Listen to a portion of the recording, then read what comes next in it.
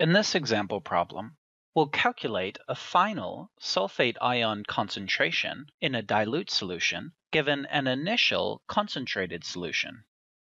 Our problem reads, a concentrated solution of aqueous aluminum sulfate is made by dissolving 274 grams solid aluminum sulfate in enough water to make 975 milliliters of solution. Then 7.5 milliliters of this concentrated solution is added to 60 milliliters of water.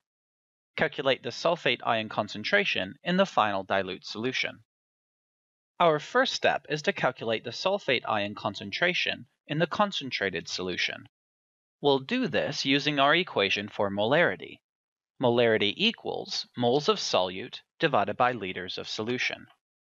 To calculate the moles of our solute, which is sulfate, we'll start with 274 grams of aluminum sulfate in our dimensional analysis. We'll convert from grams of aluminum sulfate to moles of aluminum sulfate using the molar mass of aluminum sulfate. And then we can convert from moles of aluminum sulfate to moles of just sulfate using the number of sulfate ions in the formula unit. There are three sulfates in aluminum sulfate. Performing this calculation, we get 2.4 moles of sulfate. Next, we'll calculate our liters of solution.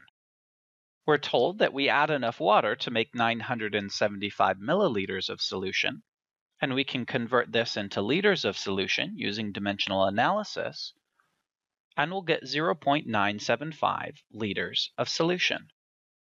Next, we can plug both of these numbers into our equation at the top so that we have 2.4 moles of sulfate divided by 0.975 liters of solution, and we'll get 2.46 molar sulfate in our concentrated solution. Our next step is a solution dilution problem.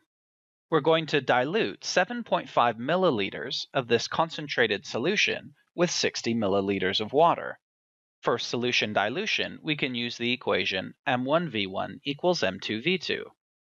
Solving for M2, or the concentration of our dilute solution, it equals M1V1 divided by V2.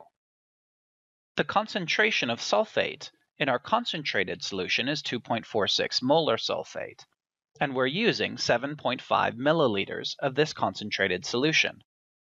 The volume of our dilute solution is the 60 milliliters of water plus 7.5 milliliters of the concentrated solution, assuming a linear addition of volumes.